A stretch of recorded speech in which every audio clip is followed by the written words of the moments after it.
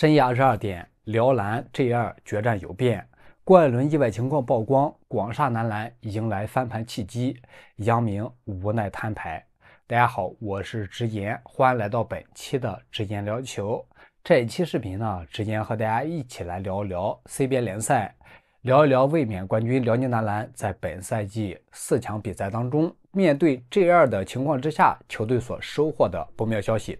可以说，这一次伴随着郭艾伦意外情况的曝光，也是让广大辽宁球迷非常揪心，也是给本轮比赛充满了更多悬念。那么，让广厦男篮迎来了翻盘契机。同时，面对这样的情况，辽宁男篮主教练杨明他的一番摊牌也是颇为无奈。而如果你看到我的视频，也支持我的看法，不要忘了给视频点点赞、点点关注。你的点赞将会让更多关注和支持辽宁男篮、更多喜欢辽宁队的球迷朋友能够看到这条视频。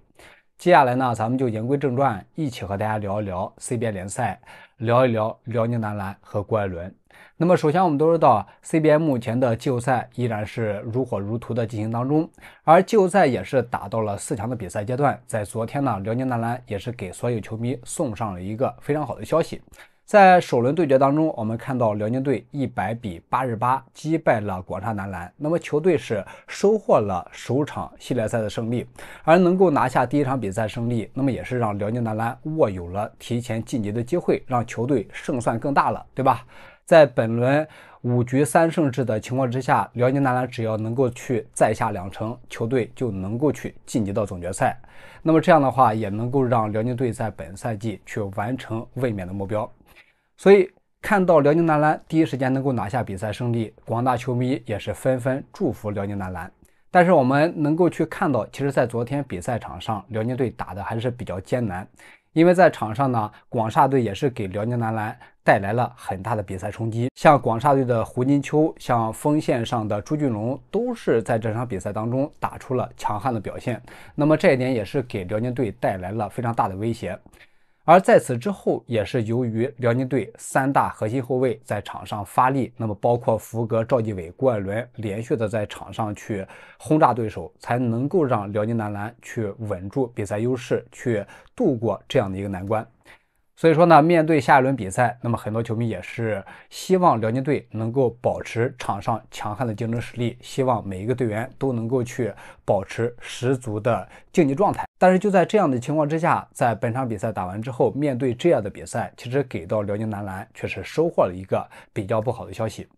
是什么样的一个消息呢？也是郭艾伦在本轮系列赛首场比赛结束之后，他的一个意外情况。那么在昨天这场比赛结束之后，我们看到相关媒体在后续是第一时间跟进了郭艾伦的个人健康问题，表示郭艾伦在本场比赛是出现了拉伤的情况，而且在这一场比赛结束之后，郭艾伦面对镜头采访的时候，他也明确表示，能够在拉伤的情况下把比赛拿下，自己也是非常高兴。